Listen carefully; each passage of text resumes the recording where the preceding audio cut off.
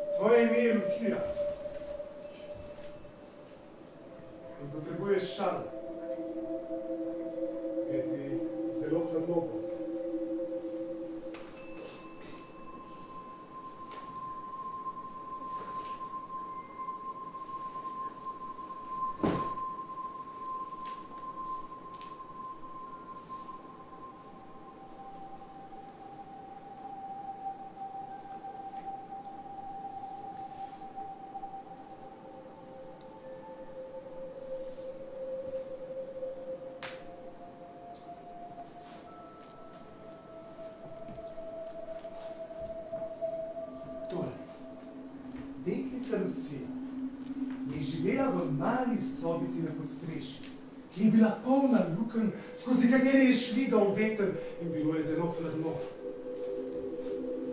Poleg tega je bila Lucija iz revne družine in bilo, bila je zelo slabo oblečena. Lahko si samo predstavljate, kako jo je zeblo. V tej sobi je živela skupaj s svojim očetom.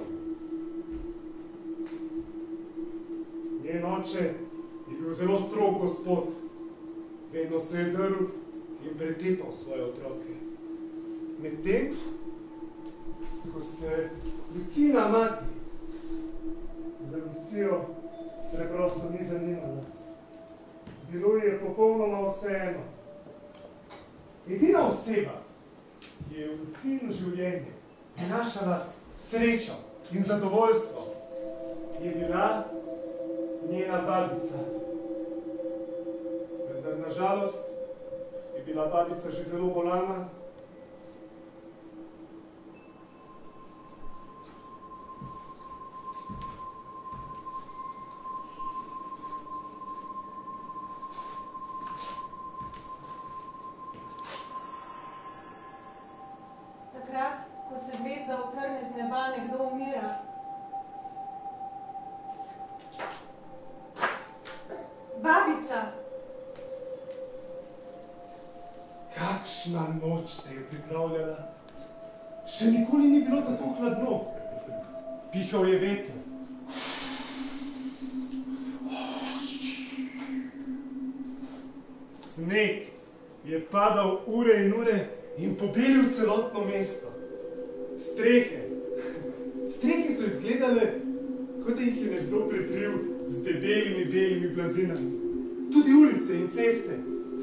Popolnoma bele, kot da so pokrite z juhami.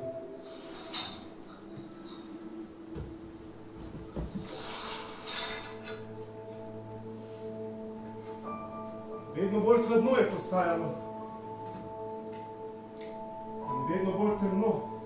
Kot da bi narava govorila svojim ljudem, pojdite spat. Pojdite spat. In res, ljudje so odhajali, vendar niso šli spat. Pač pa so odšli po domovih, kjer so se vsi vneto pripravljali na največjo zabavo v letu prihod novega leta. Na ulici pa je ostala naša deklica, Lucija. Sama, lačna in premražena.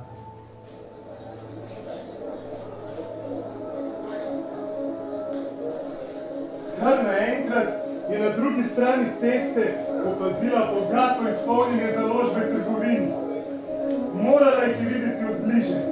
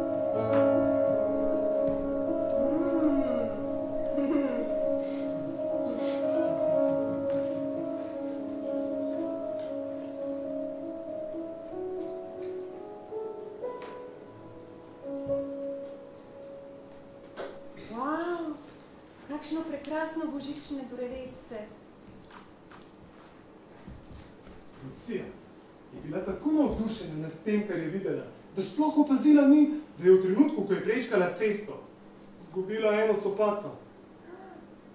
In kako lepe lučke ima. Kmalu je ostala tudi brez druge copate. Na malo drugačen način.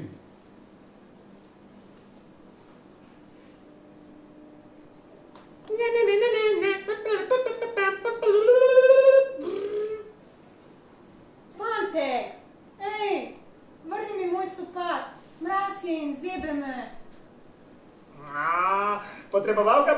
ko bom odrasel, bom imel otroke. Takrat ga bom uporabil kot zibelko. Ej, fantek, ne me hecat, to so mamini copati. Če pridem domov brez njenih copat, bo zelo jezna. Ga. V redu, izvoli. Ne dam ti ga. Ej, fantek, fantek, fantek.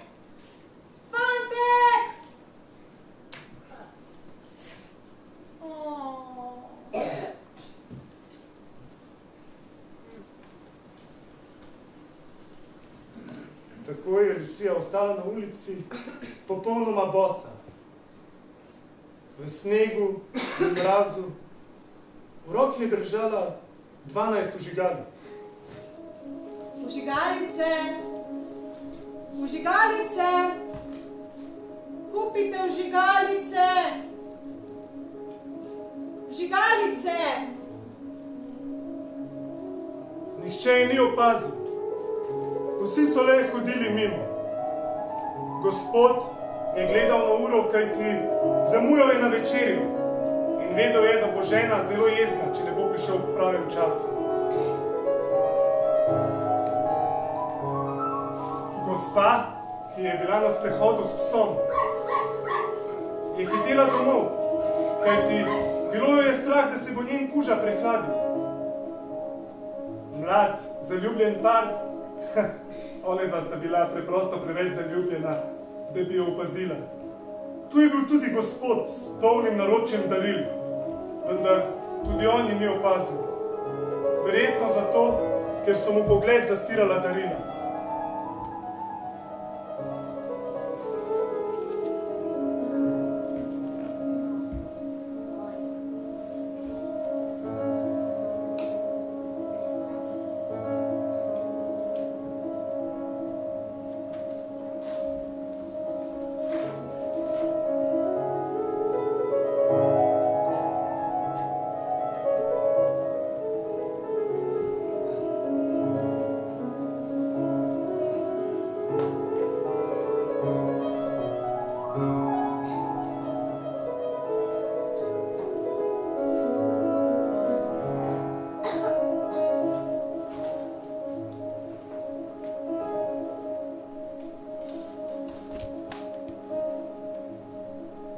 noćne je padao sneg.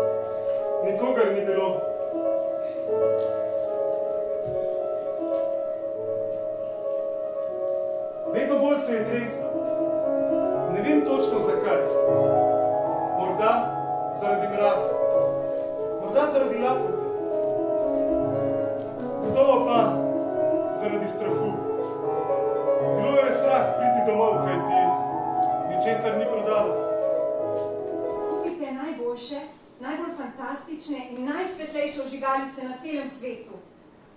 Uh, napisal sem, da nisi prodala niti ene same vžigalice.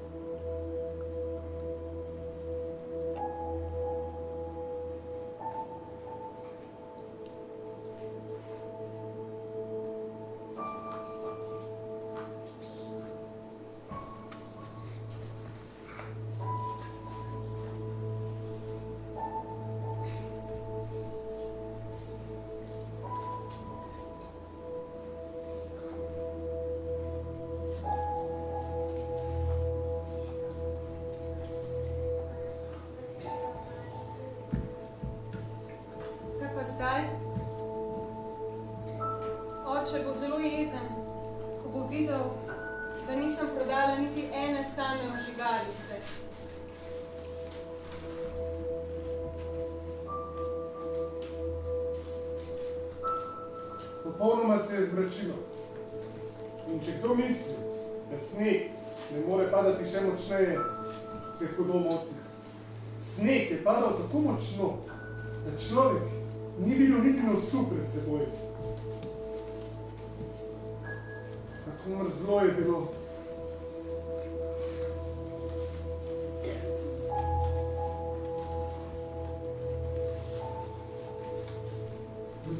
Hodila po ulici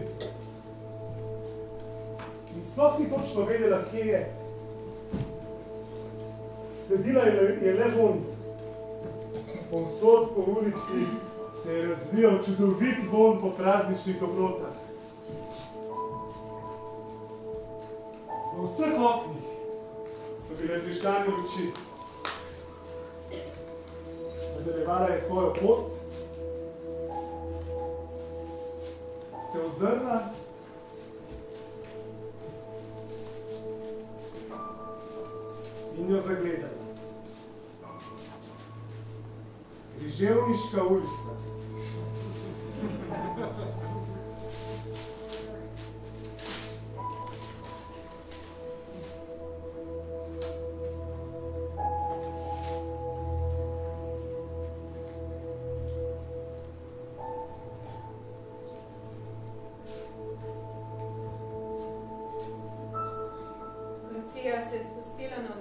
križevniški ulici, zavila ob Ljubljanici proti centru mesta. In ko je prišla na Prešernov trg, se je odpravila čez Tromostovje in nadaljevala svojo pot mimo tržnice. In kmalu prišla do Zmajskega mosta, prečkala ga je in zavila na Trubarjevo ulico, ker je bila že zelo premražena in utrujena, se je usedla v pot med dvema hišama.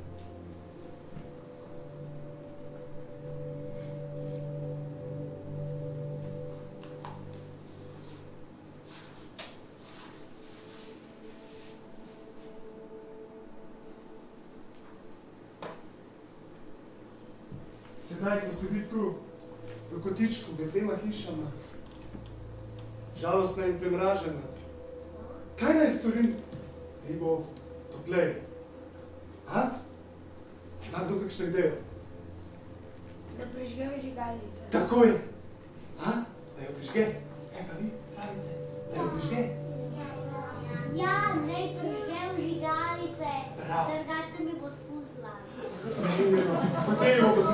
Prižgala.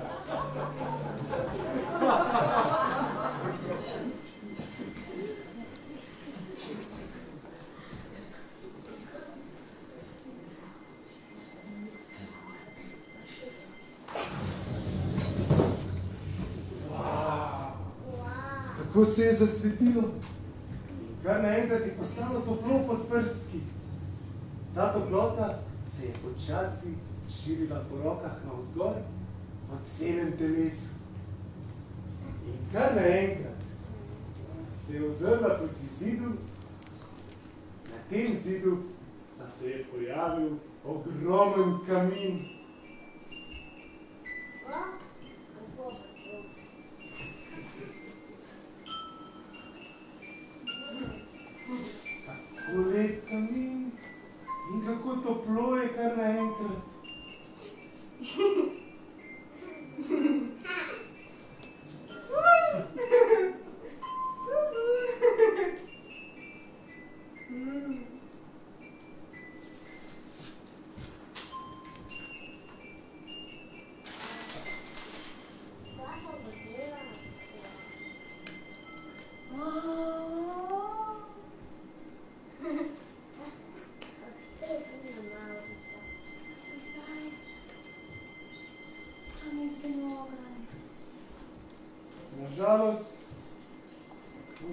Vžigalica gori zelo kratko.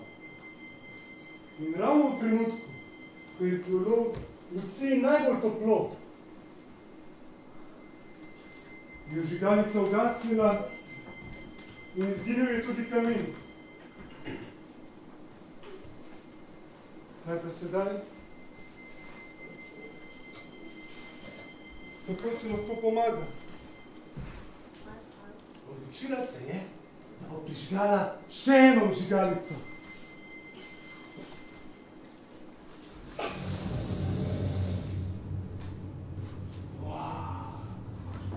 Zopet se je zasvetilo. Zopet je postalo toplo. Tokrat je zid, ki je stal nasproti nje, počasi začel izginjati. In kar naenkrat se je znašla v veliki sobi, kjer je bila ogromna, bogato obložena miza. Wow, kaj vse je bilo tu? Toliko hrane, ona pa je bila tako lačna. Kakšna hrana? Sploh ni vedela, kako se jejo te stvari. Pogledovala si je in razmišljala, kje bi začela. In ker ni vedela, kje bi začela, si je iz mize ponudila kar sama pečena goska. Priletela je na tla, v rokah pa je že imela nož in vilico. Povabila jo je na ples. Nažalost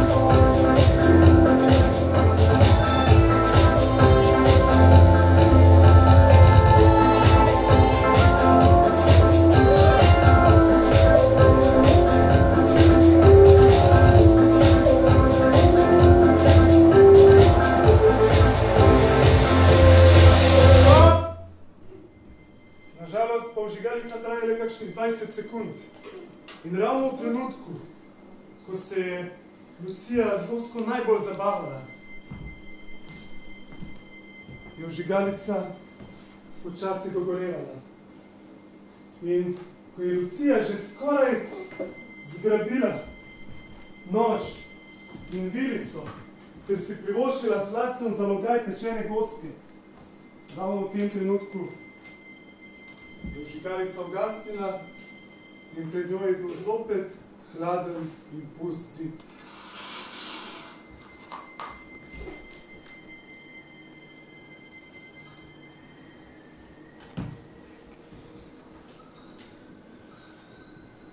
Kako je bila žalostna, vendar tokrat, tokrat ni kaj dosti razmišljala.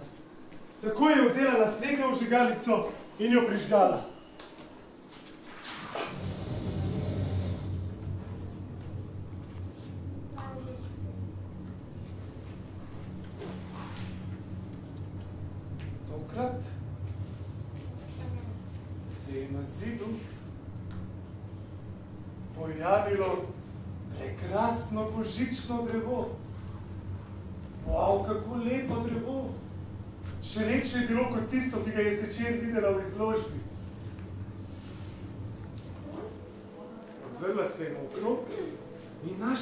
Našla glasbeno skrinjico.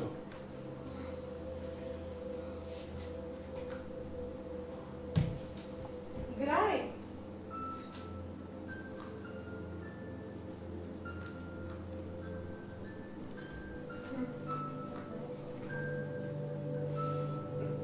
Pogledala je na drugo vejo.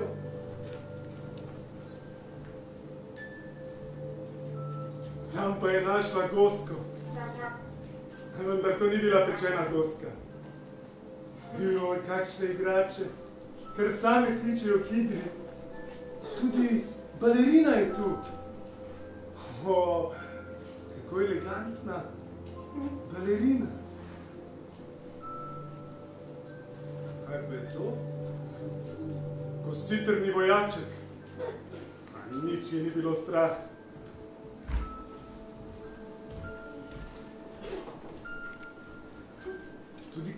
Je tu.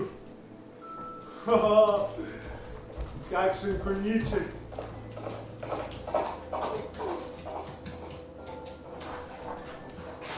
Tako se je zabavala. Na vrhu pa je bila prekrasna zvezda. Vendar Lucija je bila premajhna, da jo doseže.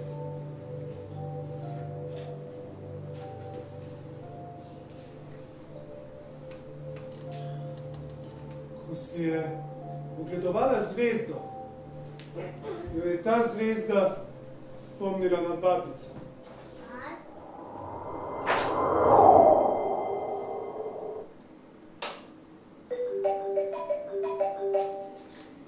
No? Bi ugasnil ti telefon, no? Kaj je to? To je spet tista tvoja zadeva. Kje? Kaj, ali lahko že tukaj samo ugasneš? Ja, ne vem, kje je.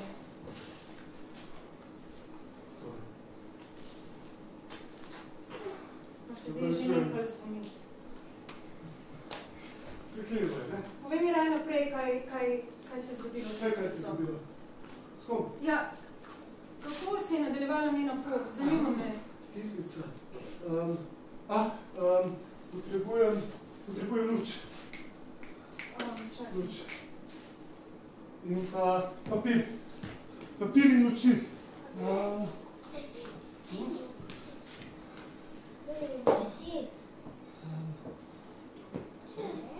Evo, wow. A to lahko? ja. Aha. Uh, ja, že vem. Uh, prižgala je še eno vžigalico.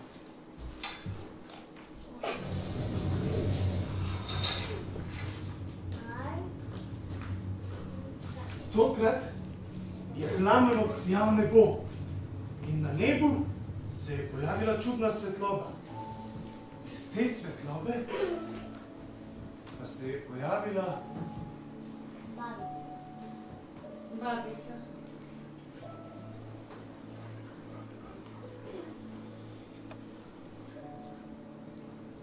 Babica,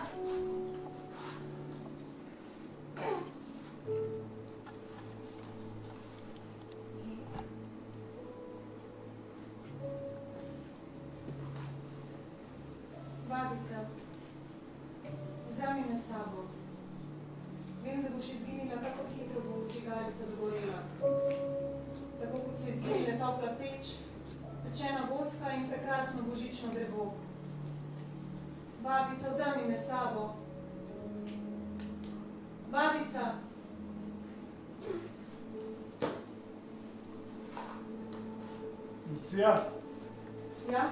če bi bila rada ob babici, moraš prižgati vse ožigalice, ki so ti ostale. Vse? Da, porabila si štiri. Ostalo ti jih je še ena, dve, tri, štiri, pet, šest, sedem. Vzemi me sabo!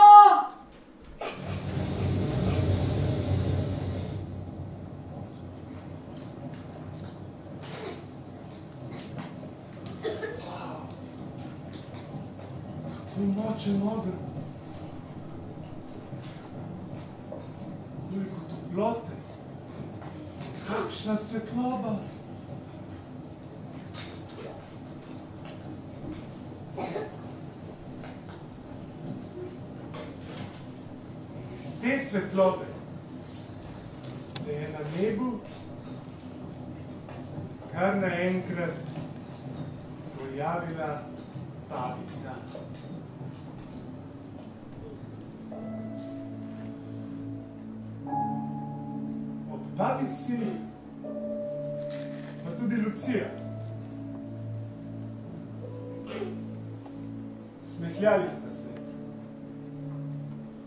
Je sedla babici v naročje in počasi, zares počasi sta se začeli dvigovati proti nebu. proti zvezdam. Potovali sta,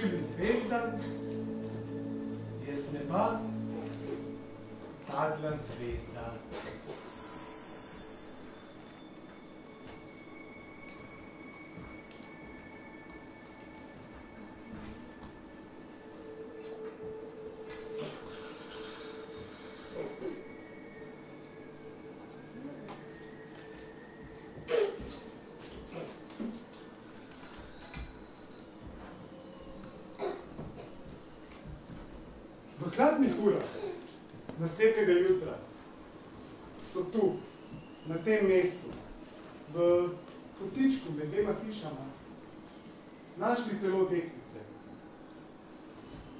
Negibno, zmrznjeno. Bila je mrtva. In na obrazu je počival nasmeh.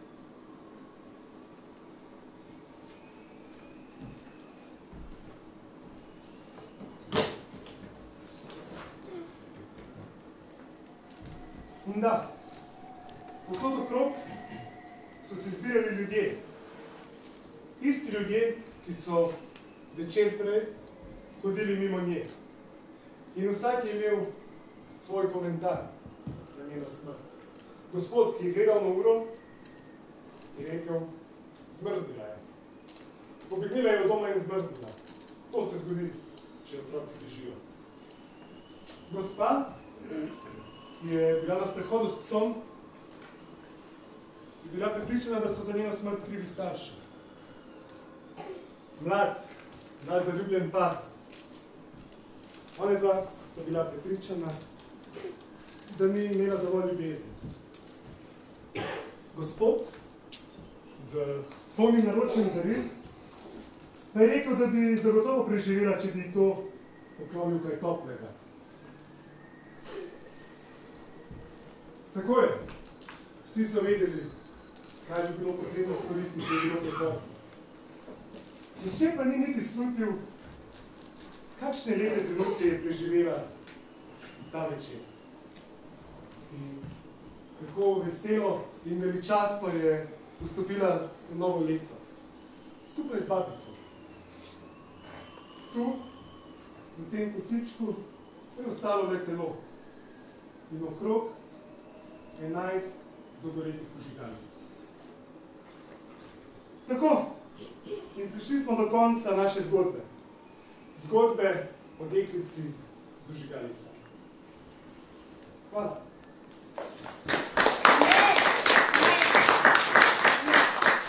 Požigalic je bilo 12, ne 11, se spomnite? Ja. Ja, to pomeni, da je ostala še ena ožigalica. Glejte, tukaj je. Um, mogoče sem se zmotil. Ja, zmotil si se. To pomeni, da naše zgodbe še ni konec. Ja?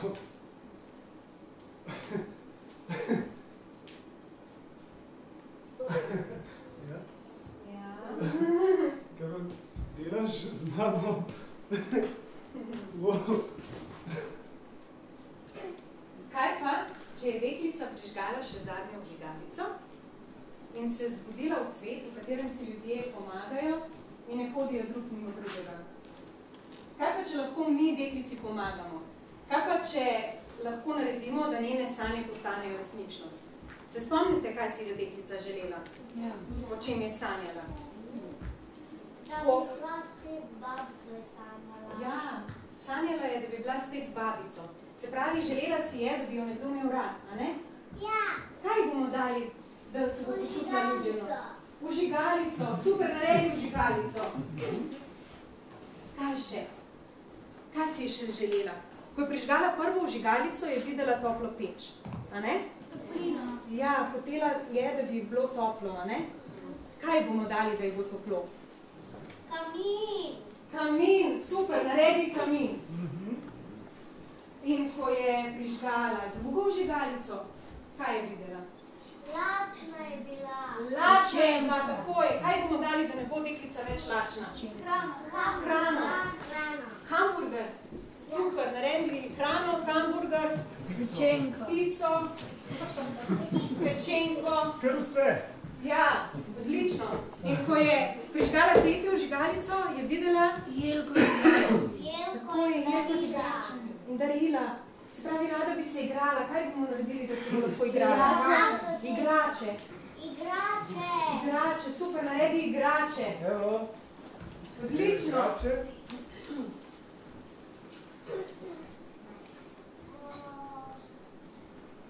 No, no.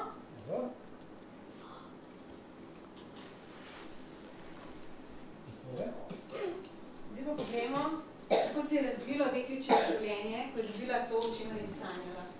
Pridi.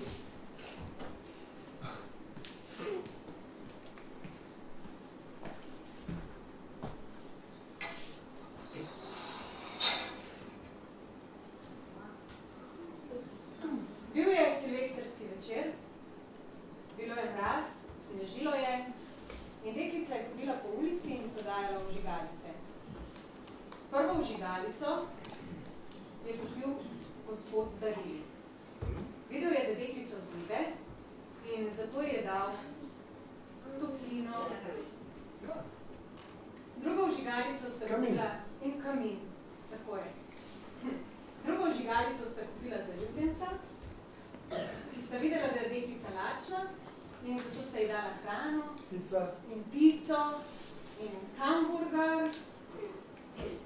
In uh, tretjo vžigalico pa je kupila gospa s psom.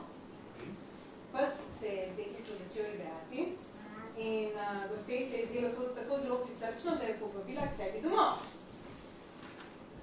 Tam je dala igračke, s katerimi se je deklica igrala. Gospa je deklico tako zelo vzljubila in jo imela rada, tako kot njena babica.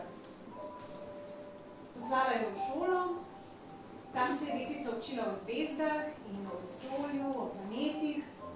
In ne boste verjeli, eden od njenih učiteljev je bil moški, ki nikoli nima časa in vedno pogleduje na uro na ulici. No, tam v šoli je razlagal o vsem vesolju in o zvezdnih utrinkih in ker si je deklica vedno želela biti blizu zvezdam, je postala... Kaj je postala? Postala je astronautka, tako je.